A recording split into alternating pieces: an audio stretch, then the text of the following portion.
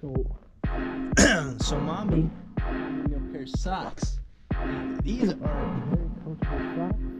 Look at these socks. Hey, shout me out after this. You may want to. Oh, drop socks.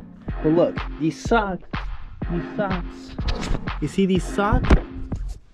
See these socks? Okay. I briefly want to talk about the history of socks. Okay? Socks. Listen to me right now. I'm gonna go a little bit of history lesson real quick. So, socks. Basically, the first socks that came out were actually scarfed up in the Nile of Egypt. I don't know why they were wearing socks in Egypt, but they look sick. They look like Tabi shoes. Tabi's on my feet, you know? And then socks kept on like evolving. Villages worn them.